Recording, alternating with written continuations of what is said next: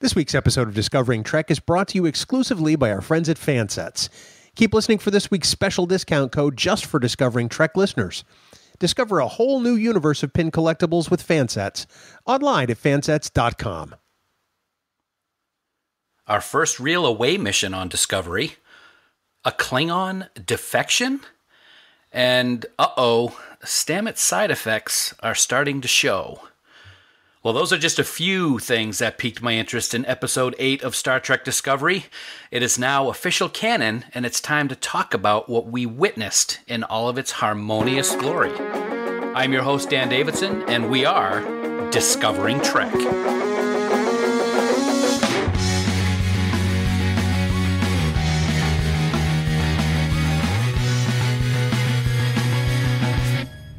Welcome, one and all, to episode 8 of Discovering Trek, the Star Trek Discovery Companion, presented by Fansets. It is great to be here with you once again to talk about the latest episode of Discovery as we prepare for the fall finale in just one week's time. Again, my name is Dan Davidson, and we are just thrilled that you are joining us here today. As always, this is the premier podcast to get the most in depth discussion and analysis about the latest episode of Star Trek Discovery entitled Si Vis Pacem Para Bellum. If you want peace, prepare for war. It had a lot going on in a lot of different places, and we're going to dissect it all right here. And in addition to our signature episode analysis, we'll get our thoughts as to what we think might happen next, and more importantly, we'll discuss what this week's episode helped us discover about our own humanity. And you know, as always, there is only peace and harmony on this podcast when I can do it with a very special person who I'd like to introduce to you right now. He's my very special friend, my brother in Trek, and my amazingly talented co host, Bill Smith. Bill, peace and tranquility. I was just going to say the same thing to you. Peace and tranquility. Dan, thanks so much. I'm excited to be here. I'm excited to talk about this uh, this next to last episode before the winter break, and uh, it's going to be a great time. It is going to be a great time. There was a lot going on in last night's episode, a lot to take in, a lot to digest, and we're going to do all of that right here uh, on the podcast. And we're going to have a special guest joining us this week. Of course, last week with the storm up in the Northeast, it was you and I solo. Uh, but this week, we've got a special friend with us, don't we? We sure do, Dan. Joining us tonight is one of our favorite podcasters and one of our favorite people. We were recently guest on his Star Trek Enterprise podcast, Warp 5, over at Trek FM. And he's also the co host of that network's dedicated podcast for Star Trek Discovery called The Edge. He's our great friend, Brandon Shea Mutala. And Bishay, welcome to Discovering Trek. Thanks so much, gentlemen. It's an honor and a privilege to be here. I'm a longtime listener, first time caller oh, I like that. Uh, it's great to have you over here. Of course, uh, we've talked to you before over on Trek Geeks, my man, and uh, thank you so much for joining us tonight uh, to talk about this latest episode eight. Uh, but before we dive into it, Bill, uh, would you be kind enough to remind our listeners just how they can contact us to share their thoughts on this week's episode? Priority 1 message from Starfleet coming in on secured channel. Absolutely, Dan. Those hailing frequencies are open, and people can find us on Twitter at Discovering Trek and on Facebook or the Book of Faces. We can be found at facebook.com slash discovering trek. There you can join in on the discussion, leave us some comments, questions, suggestions, talk about what you thought of the episode, and um, all that great stuff. Of course, don't forget, you can send us a voicemail. Let your voice be heard at speakpipe.com slash trekgeeks. And please remember any comments you may leave us could be used in an upcoming episode of Discovering Trek. Dan? Thank you, sir. Spoiler alert. Spoiler alert. Spoiler alert. From here on in, this episode of Discovering Trek contains spoilers. So if you haven't watched episode 8 of Star Trek Discovery, stop listening right now. No, really, stop listening go on over to CBS All Access and watch the latest episode. Failure to do that puts you at risk to find out plot developments and character details for Si Vis Pacem Parabellum.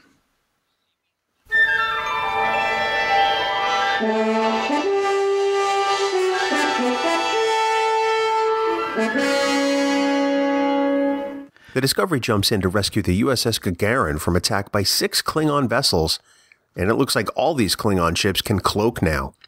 The Discovery makes it a fight and takes some real damage to help spare the Gagarin, but they're unable to save the Starfleet vessel and her crew. Lorca tells his bridge crew that now isn't the time to grieve, and Discovery goes to black alert and jumps away. Lieutenant Stamets exits the reaction cube after having made the jump. He refers to Tilly as Captain, and then becomes really defensive and irritable when he realizes what he said. Captain Lorca chats with Admiral Terral. Terral explains that Kol of House Kor has gotten the Klingon ship of the dead operational again and is giving the invisibility screen technology to any Klingon house that swears fealty to him. Burnham is on an away mission with Saru and Tyler. They're on the planet Pahvo, a world where every organic object vibrates with a kind of song. Starfleet hopes to use those vibrations in concert with a giant natural spire that the planet has to create a kind of sonar that's capable to find cloaked Klingon ships. The problem for Saru is that the constant noise of the planet is like torture to his enhanced senses. The landing party encounters what looks like floating lights in the air, and they seem to be a sentient life form. Saru notes that Pahvo is supposed to be uninhabited. Burnham says that the being isn't registering as a life form and that it appears to be part of the planet itself.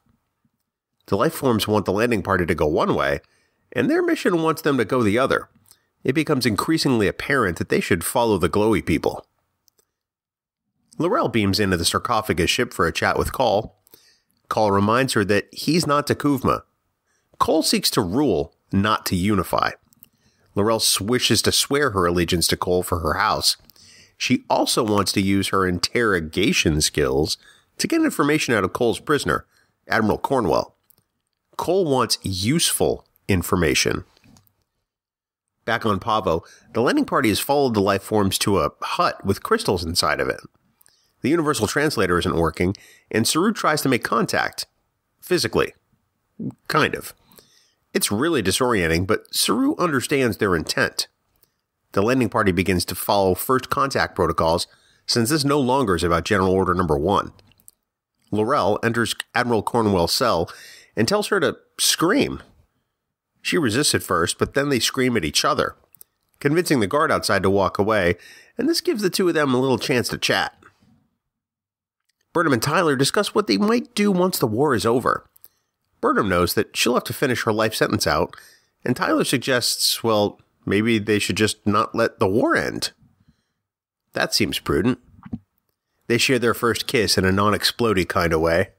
Ah. Tilly finds Stamets in the mess hall and asks him what's going on. Stamets admits that something has been happening to him. He can't tell Dr. Culber because it would require Culber to report him, and then Stamets would be sent to a lab for examination. If he does tell him, and Culber doesn't take action, it could mean the end of Culber's career. Tilly offers to help keep an eye on Stamets. L'Rell asks Cornwell what the Federation does with their prisoners of war.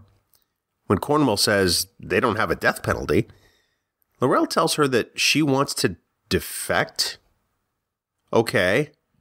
She offers to help Cornwell escape in exchange for safe passage. Saru's conversation with the Pahvo consciousness is going very slowly. He says the organism is the planet. The natural transmitter there is Pahvo's attempt to make themselves known and to make contact with others. The landing party rests inside the hut. The noise of the planet awakens Saru. He goes outside and asks the life forms to just make the noises stop. They make contact with him, physically again, or however the glowy cloud people make contact these days. In the morning, Saru seems rested and says he's made contact with Captain Lorca and updated him. He then takes Burnham and Tyler's communicators and crushes them in his hands. He tells them they will now stay on Pahvo and live in harmony uh, forever. Saru leaves to tell the life forms that they've accepted their offer. Realizing Saru is now compromised, Burnham and Tyler disagree on how to proceed. Tyler pulls rank and determines they'll take what they need from the Pahvans. L'Rell and Cornwell make their way to L'Rell's ship, and they are discovered by Kol. L'Rell and Cornwell fight. L'Rell slams the Admiral against some sort of device, seemingly electrocuting her, and killing her. Saru chats with Tyler. Saru says he believes he himself was the problem before when the planet was making too much noise. He was not at harmony. Tyler believes Saru was fighting something and then decided to stop, something Tyler just doesn't know how to do. Tyler wants to make the Klingons suffer the way they made him suffer. Saru shows Tyler a crystal rock of some kind that the Pahvans gave him. Tyler touches it and it glows. And then he pulls away really suddenly. Saru realizes that Tyler has been lying and distracting him while Burnham is off somewhere else. Speaking of Burnham, she arrives at the transmitter spire. She begins setting up equipment to connect to it. Saru sprints toward her, making use of his fast Kelpian speed. L'Rell drags what's left of Cornwell into a room with a sarcophagus. She finds dead Klingons and their people she knows, Klingons loyal to T'Kuvma. She's determined to end Kol no matter what, although she does leave Cornwell's body with the others. Burnham tries to make contact with the Discovery when Saru arrives and begins smashing her equipment. They fight. Saru continues to just beat on the equipment, trying to end the transmission, and Burnham grabs her phaser and attempts to stun Saru. Burnham tells Saru that they can't have the peace he seeks until the war with the Klingons is over. The Pahvans teleport Tyler to the transmitter. Saru apologizes to the creatures. Burnham appeals to the Pahvans, saying that together they can end the war with the Klingons and bring harmony. Saru worries that the Klingons will hurt the Pahvans if they find out. Well, then the Pahvans activate the transmitter, the Discovery makes contact, and then beams the landing party back aboard the Discovery. Tyler and Saru were brought to sickbay. Burnham talks to Saru. He admits that he lied to her and attacked her and nearly killed her. She says, You know, he wasn't himself. But the problem is that Saru says he was. Fear is how Kelpians survive, and he's never known a moment without fear in his life. For the first time in his life, he experienced that moment on Pahvo. L'Rell reports to Kol about the technology being used on the Discovery, and Kol is very unimpressed. L'Rell attempts to leave, but she's stopped. Kol believes her skills as an interrogator can still be of use, and he allows her to stay if she pledges allegiance to Kol in his house. She does so, and he smears some red paint on her face, or maybe that's paint. These are Klingons, after all. Kol then reveals that he knows she was lying and orders the guards to take her away. The Klingons then receive an invitation from the planet Pahvo. Tyler and Burnham arrive back on the bridge of the Discovery. Pahvo is now transmitting an electromagnetic signal on two specific subspace bands. The Pahvans are trying to bring the Klingons and the Federation together to work out their differences and create harmony. The ship of the dead is on their way, and the USS Discovery is Pahvo's only defense. You know, Bill, I might have to work on my Latin a little bit, but you certainly do not. I never get tired of those mellifluous tones telling us about the episode in such great detail. Very well done, sir, as always. Thank you. I, I admit that I learned all my Latin from Google. So there, there you have it. Okay. Well, I'll have to check out that Google thing. I'm sure you guys are saying it wrong. Like when I read it, I thought it said "See Miss Pac-Man's mozzarella." I think that that's probably close enough to how I was saying it. I, I'll Okay, buy it. Good. Yeah. Okay. Well, you know, guys, there's a lot to digest in this week's episode, so let's get right into it. Um, the first thing that I I really was interested in is it is obvious to me that Starfleet has a huge disadvantage with the Klingons right now. It was evident from the first battle scene that we saw. They may have the spore drive, but the Klingons have those cloaking devices. Uh, Bishay, what are your thoughts on what we saw with that opening battle? Well, it's interesting to watch this because I was under the impression that the only ship that had it was the sarcophagus ship that had the cloaking technology. And somehow mm-hmm. they've really managed to duplicate this technology within a very short period of time and be able to share it within the other Klingon ships. And you're very right in that the Klingons definitely have an advantage with the cloaking technology because, as we heard in the episode, all six ships that they engaged in battle have the cloaking technology, while Discovery is the only ship in the Federation fleet that has the spore drive. Oh yeah, that's a good point. Yeah, of course the Glenn is destroyed, so they're the only one. They can't be everywhere at once, no matter how much they try to be. Um, yeah, in regards to the cloaking device, Bill. Um, let's see, it's been what? It's it's been seven months, close to a year now. By this time that the uh, the war actually started, are you in line with that? They could have gotten that uh, technology to the other ships that have joined uh, the House of Kor, so to speak, by this point. I think the thing that amazes me the most is that this means there must be Klingon engineers, and we've never seen a Klingon engineer in the whole of Star Trek in 51 years. Good point. I um. I, I do think that I, I do think it's possible, you know, because Kor, uh, sorry, Kol is motivated, right? I mean, he wants to rule the Klingon Empire. He's not like T'Kuvma. He's not looking for people to, you know, to sign on to his cause. He wants to rule, you know, with an iron fist. And if this is what brings the other Klingon houses in line, then so be it. I'm sure he'll promise them the moon and the stars and a few Klingon moons. Um, if it means that you know they will they will pledge their allegiance to him and his house. As long as it's not Praxis, I guess uh, that would be a good deal, right? I have I've never heard of Praxis. What's that? Oh, okay. All right. Well, one of the things that I thought was very interesting also uh, in regard, I, I did say House of Kol because, uh, because I just love the fact that he's from the House of Kol, of course. Uh, of Kor, rather. Of course, he is Kol, but uh, Kol, Kor, you know, we we mix them up all the time here at Discovering Trek, or at least I do. Um, let's uh, switch gears a little bit to a, a, an area that I'm greatly concerned with, and that is Lieutenant Stamets. Um, I was just saying, not 10 minutes before the show started on Sunday night, to my wife that I really love how Stamets has evolved since he started being the prime spore drive driver. Uh, and then he gets out of the spore drive tonight or Sunday night, and oh, he's right back to normal. Or was he? Do you think that was a little flashback to the future when he was calling Tilly captain, Bill? Uh, I don't. I think he was just really disoriented. I think that you know, for all the developments we've seen with Stamets and the pieces of his personality that we've unlocked, or he's unlocked, I should say, I think that there's a, a, terrible cost to him interfacing with this spore drive. I mean, obviously, we saw it with the tardigrade. It clearly did not treat that life form well, and there's no way it could possibly be treating Stamets well.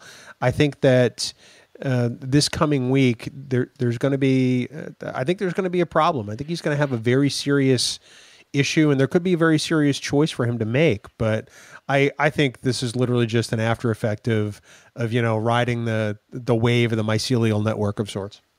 Brendan, do you think that he's aware that these things are happening to him in a way that is concerning to him, or is he just trying to hide it by turning into his usual gruff self that we saw with Tilly, and then later on in the cafeteria with Tilly as well. I think he's fully aware of what's going on. And uh, per what you said just a few uh, seconds ago there, I really do believe that he, he, he's talked about being outside of the timeline. I, I really do believe that he's seen the future and seen Tilly as a captain. Uh, because, and the only reason why is because of that scene that we got in episode three where Tilly says firmly, I'm going to be a captain someday. And, you know, at that time, it was given to us as just kind of a little bit of a tidbit into Tilly's character, but that's a direct callback to that line by calling Tilly the captain. So I think he's somehow going out of time and he's definitely realizing that something's wrong. And, you know, one of the things with Stamets uh, being in control of the spore drive now that I haven't really liked hearing people say is they're they're they're describing it as he's being high, like especially in the last episode. Oh, he's riding the mushrooms, he's doing the mushrooms, and he's mm-hmm. yada yada yada. And I don't like that because I don't think it has anything to do with mushrooms. To me, it's clearly because of the tardigrade DNA that's made these changes in him. And then it's exponential growth is because he's putting himself through these spore drives, these jumps. Now, the thing about the jumps is I think it's easier for him to understand than the tardigrade, and we've seen it in Star Trek before because we're we're conscious and we're aware and we're human beings. Kind of like the uh the it, it makes me think of the climax to the enemy within where you know the dog couldn't handle the transporter joining because he's just a dog but Kirk could handle it because he's a man and he can reason what's going on. So that's my interpretation of Stamets going through the spore drive is because he's a man and able to reason, and the tardigrade is you know, while science fiction that it's this large, it is just a larger representation of like this small organism that simply reacts. Does that make sense? That makes perfect sense. I actually I love that explanation. I think that's very cool. Let me ask you both a question in regards to Stamets. Let's pretend for a second. Well, let me stop. Let me go back. I've seen a lot of things uh, today, especially the day after the episode aired, um, about Stamets and the mirror universe and Stamets from the mirror universe, and he's switching back and forth, and that's why we're seeing these mood changes. Let's pause for a second and let's pretend that Jonathan Frakes never said anything about the mirror universe a couple of months ago when he mentioned it, that the mirror universe was going to be involved here. Do either one of you take any um, any solace, or, or, do you believe in any way, shape, or form that it could be Stamets bouncing back and forth from the mirror universe? Bill, I'm going to ask you first. I personally don't. I don't think there's any way that he could just be bouncing back and forth and then being able to just act however he's acting without some kind of of oddness being being seen by the crew, in addition to what we see with his behavioral change. What do you think? I, I don't think he's bouncing back and forth. You know, a, a few weeks ago, when in the prediction segment, the long range scans, you know, I, I, made the prediction that I think that the Stamets that we wound up with is mirror Stamets, and I think that's for me. I think that's been proven untrue. Um, I, I, think that you know, at, at, some point we will see a mirror episode with this cast and, and this ship, but I think that we're all anticipating it so much that we just want to believe that that every possible thing, oh, oh, that could be mirror. Mm-hmm. You know, whether it's this or people thinking the entire show is set in the mirror universe. Uh, um, spoiler alert: it's not. Um, so um, that that's kind of where I am on it. It's funny because uh, uh, Brandon, I'll get to your your um, thoughts on that in a second. I, I love the idea of knowing that there's going to be a mirror universe involved. But you're absolutely right, Bill. Now that it's been teased to us, we're all thinking it at, at various points. Oh, this has got to be mirrored. That's a that's a great great point. Uh, Brandon, what do you think? Um, are you looking forward to the mirror universe version? Do you think that anything that we're seeing right now has anything to do with the mirror universe? Uh, myself, I don't think that anything that we're seeing right now has anything to do with it. I think people would have tried to come to that conclusion on their own because of that one shot that we had with Stamets in the bathroom, right? Where we saw his reflection paused. Mm-hmm. And, you know, I've gone back to think about that scene now that we see now that we've seen like the last episode with Mudd and the and the temporal anomaly and the re, the reoccurring time uh, 30 minute time frame there. And I'm trying to comprehend in my head how that fits. But I think people still would have come up with, hey, I think this is a mirror universe. Myself, I don't think anything we've seen has anything to do with the mirror universe yet. So, and while I do anticipate it because I am also am a fan of the Mirror Universe, I'm not seeing anything here that indicates it. Okay. Good. I think we're all in agreement then. So let's move on to uh, another aspect of, of Sunday night show, and that is L'Rell. Uh, wow, this was a great L'Rell episode. Mary Chieffo just did such a great job. L'Rell is walking a very, very dangerous line right now. And Brandon, uh, what were your thoughts on what we saw with her, uh, with the Admiral? I kept waiting and kept waiting for the other shoe to drop because I didn't buy for a second that she was being honest with the Admiral. Now, I don't believe that she wants to serve Kol, and I even from the beginning, but I also don't believe that she wants to defect. Now I know that the fan theory out there is that Tyler is Voq.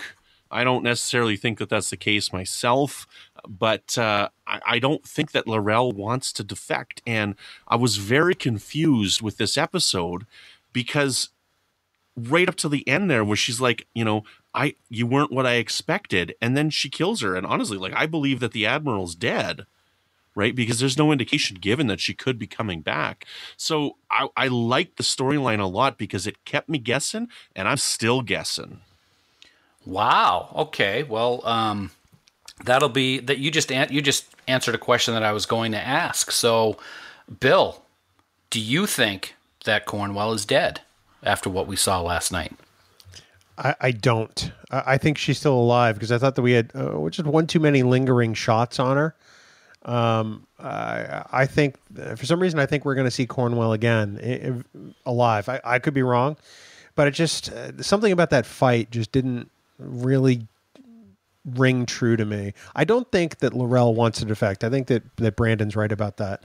I think that that really was just a tool for her to get information about Discovery, or to at least find a way to get close to it, so maybe they can capture it and, like they said, maybe Kol can use that technology throughout the Empire. Um, but I just I, I got a feeling I don't know what it is, but I'm not convinced that uh, that Kat Cornwell is uh, has has clocked out, as it were.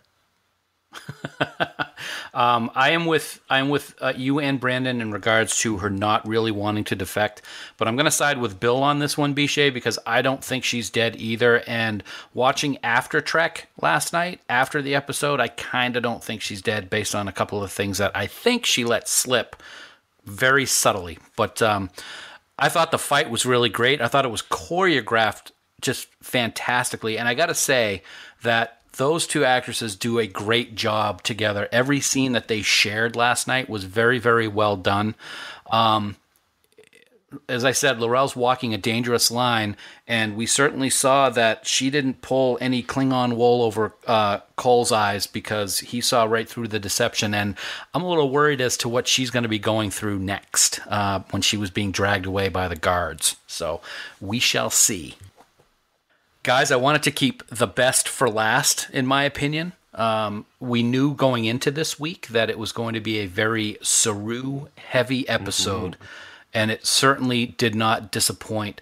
I thought that Saru, um, we saw a lot of his character this week that we have been waiting for for a long time. And it was done in an unfortunate way, in my opinion. It was really too bad that we only get to see it because he was quote I don't know if manipulated is the right word, but what did you think, uh, Brandon, in regards to this transformation that we saw with Saru? Were you happy that this was happening to him and he finally got to to feel that peace that he has never had in his life, or were you upset in the way that it happened and that he, it shouldn't be that way? I really like the Saru storyline here. And in my opinion, what I was watching here was not, I don't think he was affected in any way by this blue mist. I think that what we saw was Saru, basically in a nutshell, finding a peaceful race that he can live with, that he has been searching for this peace his whole life. And it's something that he just he can't fathom giving up now that he's found something like this. And it's it's not that it's something that infested him and infected him. It's just that he's like I can't he, once he was communicating with him he's like I can't believe there's a race like this. I'm always afraid wherever I am. I'm scared. I'm afraid everywhere I go. And this is the only planet I've ever been to where I'm not afraid of anything. And so he just doesn't want to leave that and he doesn't want to risk leaving that. And that's why he took the actions that he did.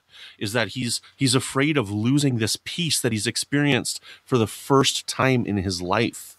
And I think that's a really fascinating plot development for this character because it just shows him like we can't really comprehend living our lives in fear constantly. And that's really what Saru is about. He's constantly afraid of something. So to be going to this planet where there's no fear must be just freeing and liberating for him. Excellent insight into that, man. I really like. Uh, I really like that take. Hey, Bill, what about you?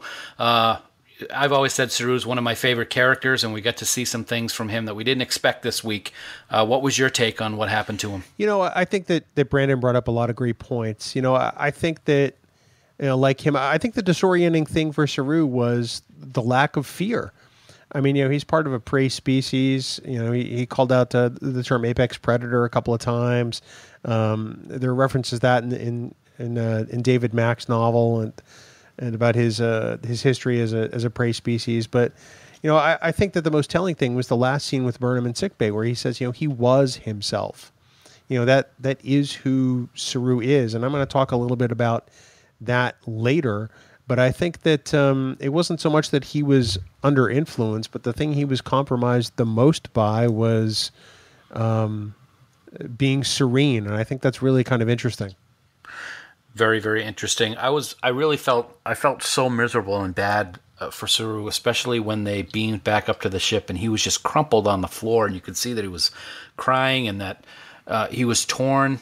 But then later on in sick bay, he sick bay, he realized um, what he had done and how wrong he was, and and I really think that that moment between Saru and Burnham is going to bring their relationship to another level.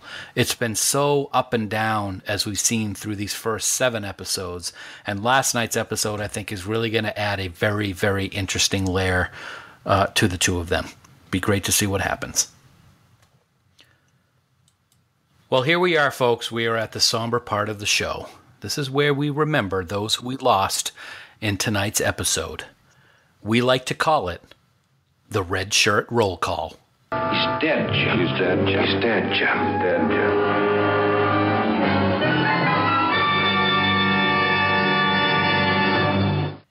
Discovery is a Star Trek show where we're going to lose crew and we're going to lose characters. That much is certain. And Bill, this week was no different. Uh, who can we say goodbye to this week, partner? Well, Dan, it was a big week for the Red Shirt Roll Call. Sadly, we lost the entire crew, of the USS Gagarin. At the very open of the episode, they were being attacked by six different Klingon vessels, and unfortunately, they weren't able to withstand the barrage. And of course, Dan, um, we also have to say goodbye to several of L'Rell's Klingon compatriots who were pretty much just piled up in a room on the floor. Not exactly a fitting end, but then, you know, the Klingon body is it's just a shell. They're going to do with it as they please. Um, and these guys clearly were no friends of Kol. But uh, Dan, they, they kind of make up the whole of the red shirt roll call. That's a whole lot of people. That is a lot of people. A whole starship. 462 men and women. And uh, Klingons who did certainly did not follow the ways of Kol. All gone. War is hell. So let us raise a glass of synthahol in their honor as they join the honor dead in this week's Red Shirt Roll Call. This week's episode is brought to you by Fansets, the exclusive sponsor for Discovering Trek. You know, Fansets has really so many amazing collectible pin offerings.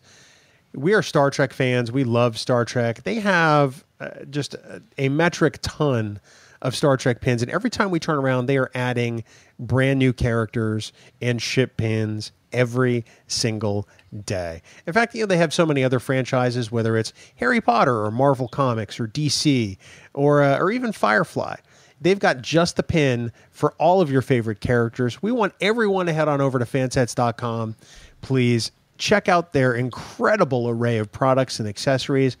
Plus, don't forget, we have an exclusive offer for Discovering Trek listeners. Just enter the discount code STELLA. That's S T E L L A at checkout for 10% off your entire order. As we mentioned last week, due to the storm in the Northeast that caused the delay for our podcast, we're going to stick with this code this week until Sunday, November 12th, 2017 at 11:59 p.m. Eastern. Ah, yes. Sweet, sweet Stella. I love it. You know, I actually used that code word last week to order my Series 2 set of pins, and you should all use it now as well because Series 3 is now available. So take advantage of that savings, folks. Uh, Fansets is constantly releasing new pins, as Bill mentioned, and it's a great way to save money and also add to your awesome collection. You know, Dan, another way to add to your awesome collection is for everyone to sign up for Fansets' brand new episode pin collection. Absolutely. That new Star Trek Discovery episode pin collection is a very unique way to show your love for the latest Star Trek saga. Uh, this collection consists of a unique pin for each of the 15 episodes of Discovery's first season.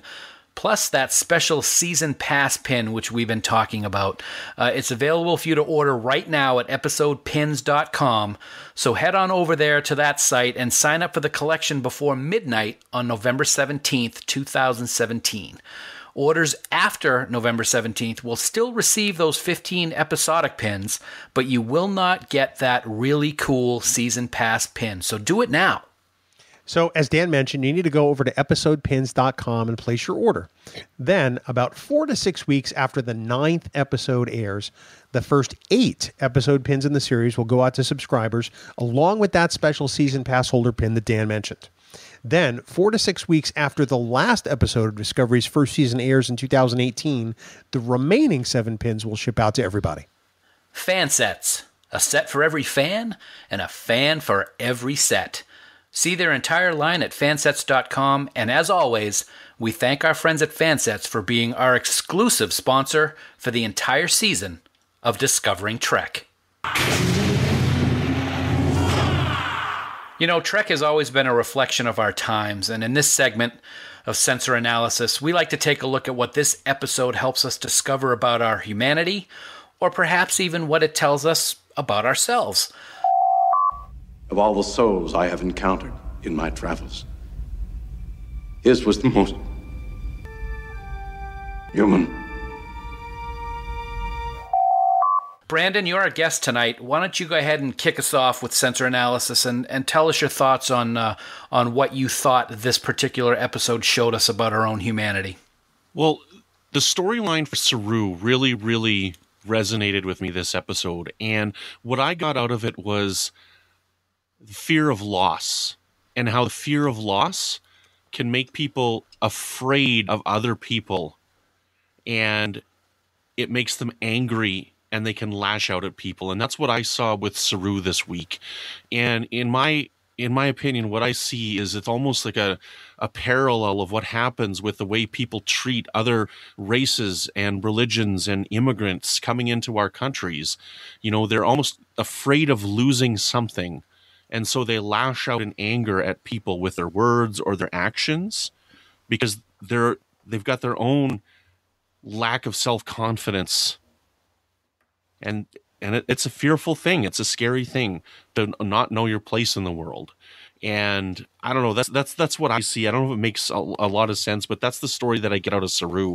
And you know it, it makes me think of that i don't know if you ever saw that uh that comic that was going around. It was uh schrodinger's immigrant and you know Schrodinger's Schrodinger's immigrant is the immigrant who they're they're taking all of our jobs yet they're they're lazy and taking all of our services because they're not working and taking all their services for free and that's those kinds of fears and those kind of hatred were the things that I was thinking about when Saru lashed out at Berman Burnham and says you're not going to take this away from me. Right on point, my friend. Very, very well said. Bill, um, I always love to hear what you have to say in this segment. Uh, what have you to share with us? You know, I have to start off a little bit by uh, by talking about my general reaction to the episode because it ties in directly to what I think this episode tells me. And I have to say, this is a hard episode for me to watch. It's it's not that I don't enjoy it because I did on some level, but it's well, I, before in discovering Trek, we've talked about how Star Trek has always been a a, a mirror for humanity. And sometimes we look in that mirror and we don't necessarily like the reflection that looks back at us because maybe it hits too close to home or maybe it's a, a part of ourselves that we don't like seeing. And I think for me personally, this episode kind of brought that to light. I think that that, that was true, especially in my own experience. Last week on this podcast, I, I talked about uh, my anxiety and and and my my very personal struggle with it. And I think that well, I thought that that episode um, taught me what I needed to know about that journey, and then this episode happened, and uh, it taught me even more. You know, as part of my own discovery of of, of myself and and the things that I'm learning about my struggle with anxiety is that um, more often than not, it is fear of fear. You know, it's a self fulfilling prophecy to some degree. And I'm not saying that's the case with Saru, but the way he lashed out at Burnham, especially when she was trying to hook up the communications equipment to the, you know, the uh, the transmitting spire on the on the Pahvan homeworld, I I was just overwhelmed with with how angry he was as the result of his fear you know I, have I've experienced anxiety that is that has made me shut myself in. I've experienced anxiety that is has made me fear for for my life in a situation where I was in no danger.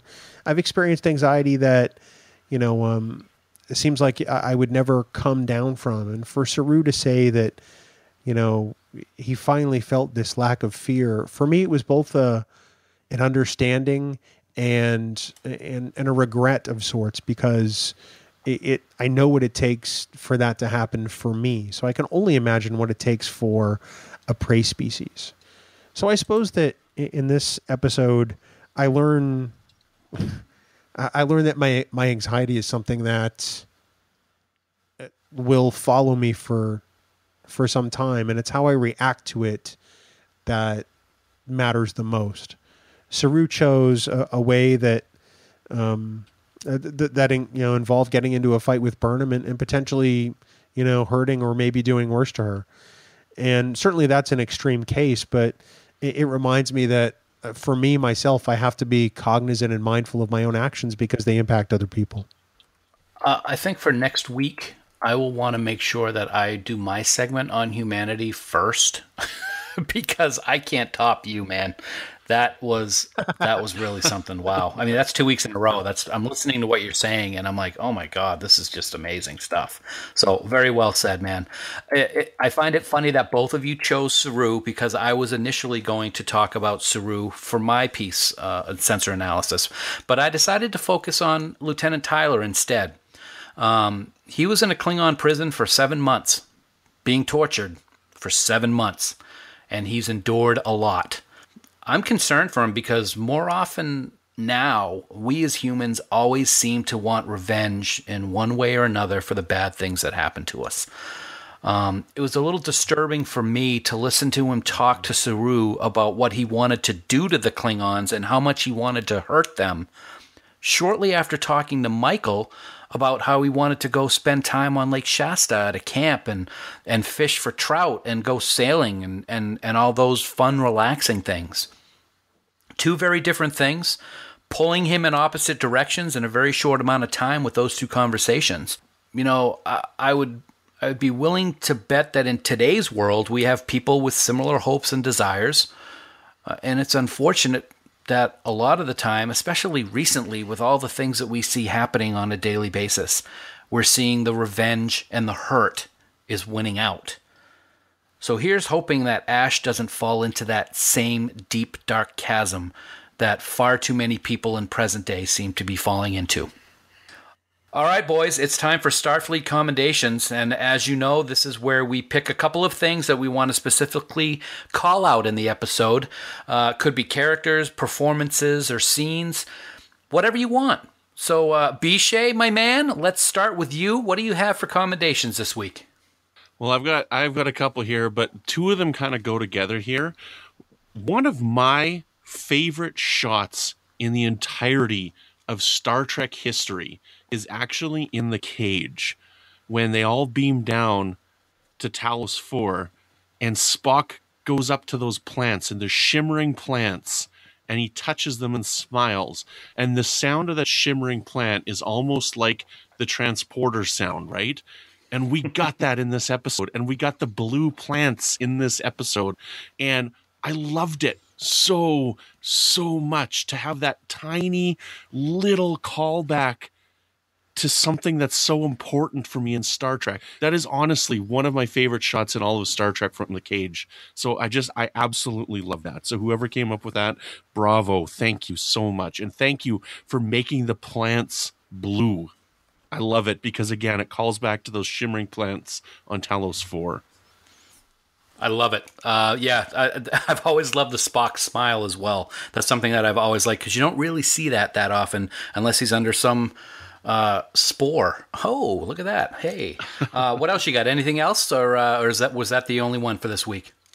Uh, those are the main ones, but also, you know, these these aliens. What were they called? The the paw The Pobbins. the paw wraiths. nice. The Pahvans, yes. So with the Pahvans, you know, again here we've got this TOS trope of these shimmering light beings, you know, like you know, it, it calls back to so many episodes like Errand of Mercy, you know, and uh what's the one with the Klingons, The Day of the Dove, you know, all these shimmering light beings. So another wonderful thing that I just want to call out and and and bravo again for that, for these cool little thing that's such a trope for the original series. I love it. Nice, very very well Well, there's some good call outs, man. I love commendations. I think this is one of my favorite parts of the entire show. Uh, Bill, uh, God, I should probably go first because you're going to probably blow me away, but we'll stay with you. What do you got for the commendations this week, buddy? Well, you know, um, I've only got a couple this week. Um, first up, I have to I have to give Doug Jones a commendation. He is fantastic in this episode. He adds so much depth and layer to Saru and just such raw emotion, and it's it's a joy to see. You know, I've said for a while that that really um, this isn't really about Saru being the substitute for Spock or Data really Burnham is, but Saru really gets a chance to stand out and shine. So does Doug Jones. So he's he's the first one. The second one has to go to Kirsten Beyer, the um, the writer, uh, the Star Trek novelist who who penned this script this week. I love it because it has a pure TOS vibe. Um, it- it's it, it's like it, it could have been ripped straight from the original series, but yet has a little bit of next gen in there. Has a little bit of some of the other shows. I like that it's a script that that makes you think and that actually gives a, a Saru a, a real challenge.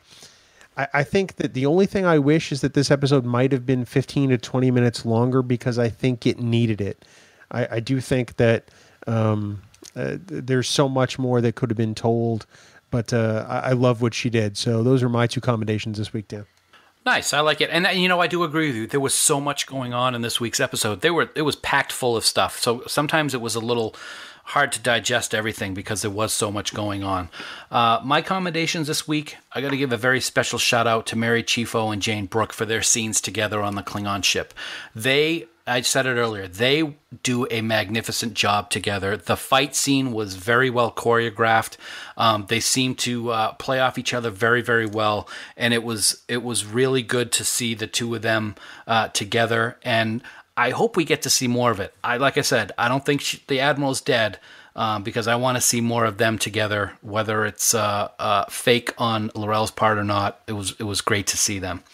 Uh, my second commendation, I'm going to point out uh, the special effects team over at Discovery. You know, from that space battle at the very beginning of the episode to the transceiver on Pahvo and the Pahvans themselves. I mean, just just wow. We've seen cinematic special effects from the Discovery team since the first shot of Discovery in episode one, and they just keep upping their game. And uh, I look forward to seeing what they do every single week. They are geniuses. But my biggest commendation for this week has to go to Doug Donkey Kick Jones himself. Um, I love Saru. I love what we're seeing. I don't think anybody other than Mr. Jones could pull off what we're seeing with this character. He is so great uh, as Saru. I love this guy as an actor, uh, and I can't wait to see what else we have. You know what I really want to see, guys, is I want to see the predator race that the Kelpians of Saru's uh, upbringing are so afraid of because they got to be pretty bad because Saru's fast and he's strong.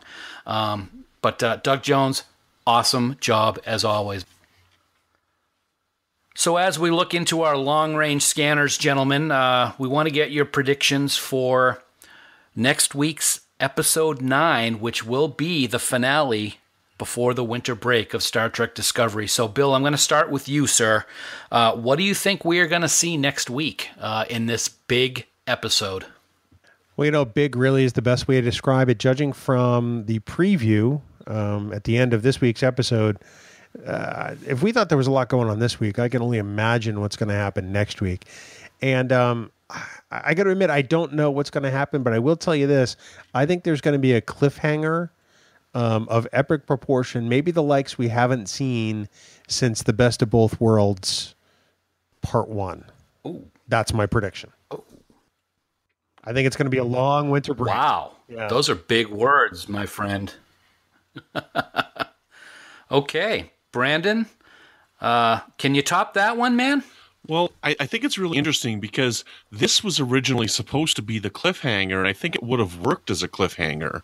So, what are we going to see next week? I'm not quite sure, but with them moving an episode up, I'm almost wondering if I'm I'm kind of hoping we get a reveal of Voq himself and what he's been up to on the Klingon home, not the Klingon homeworld, but with the matriarchs. Because I still, I don't think anymore that uh, Tyler is Voq. So that's what I'm hoping to see, and maybe that's how the episode's going to end. Wow. Okay. Well, mine's not as big as you guys are, so I'm just gonna just say uh, we haven't had a significant death uh, in several weeks. Of course, we did lose a whole starship this week, but I mean character deaths. I was completely wrong with my prediction last week that the admiral will be killed and that Lorca would have a part in it. So for next week, prediction: pain little Rocky reference there. Someone's going to be leaving us next week, and uh, it's not going to be uh, a very pleasant death. That's my prediction, and I kind of like the idea of a cliffhanger too. Yeah. You know, Dan, Halloween may be over, but we still have a treat to give away, don't we? Oh, yes, we certainly do, Bill. As mentioned last week, we're giving away five of the creepiest aliens in the Fansets Star Trek library, and they include the Salt Vampire, the Mugato, the Gorn. Go ahead, Bill. A Jem'Hadar soldier, and a Borg drone. All week, listeners have been retweeting our latest episode on their own Twitter pages, and now it's time to pick a winner. First of all, thank you so much to everyone for taking part in the contest. It's a great way to win some great stuff, but it's also a great way to tell all your Twitter friends about the podcast, and we truly appreciate it. So, without any further ado, Dan, uh, drum roll, please.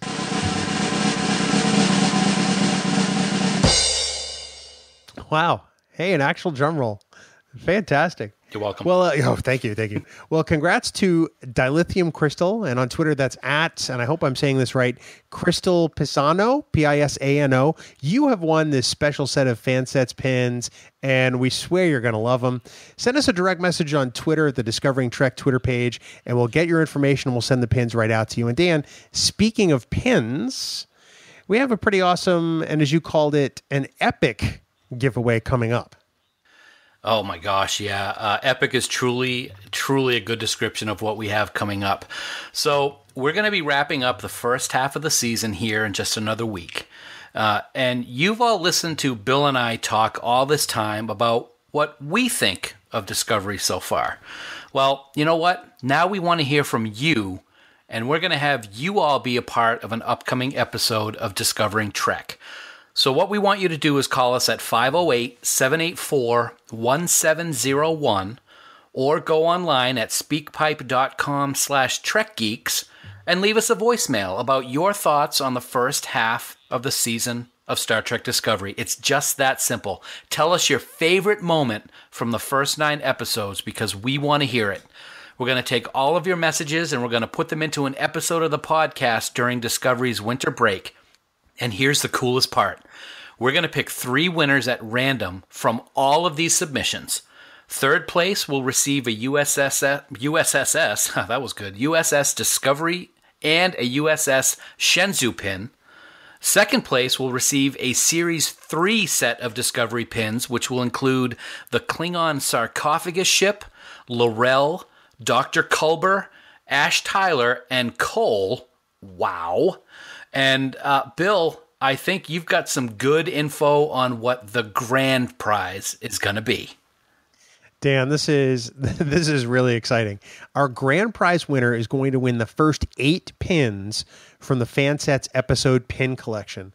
I, I'm stunned. This is really an amazing giveaway, and we we cannot thank Fansets enough for supplying all of these awesome pins as prizes for our listeners.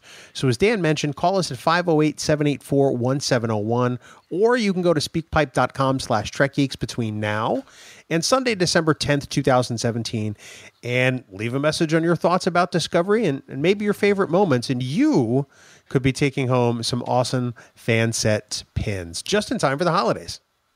That is just so awesome. And again, as always, we want to thank Fansets for all that they do for us here at Discovering Trek.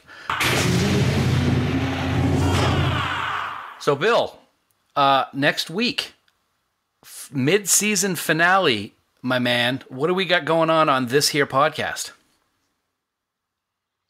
Well, Dan, next time on Discovering Trek, we're going to take a look at Star Trek Discovery's ninth episode the mid season finale titled Into the Forest I Go. And Dan, joining us to break down the episode will be none other than Ashley Victoria Robinson and Jason Inman from the Geek History Lesson podcast.